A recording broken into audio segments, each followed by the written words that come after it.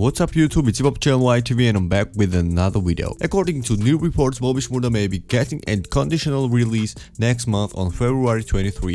If released, he will be monitored until his previous release date of December 11, 2021.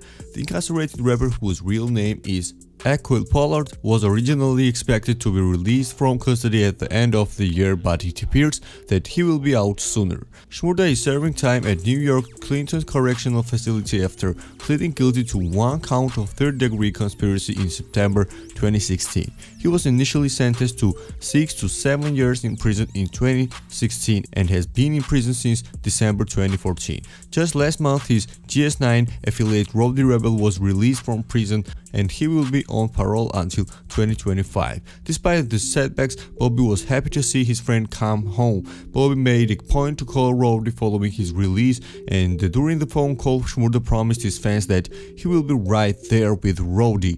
Shmurda has big plans following his release including new music and an inspirational documentary about his life. So stay tuned for more updates on Bobby's release from prison and any subsequent music news that may eventually follow.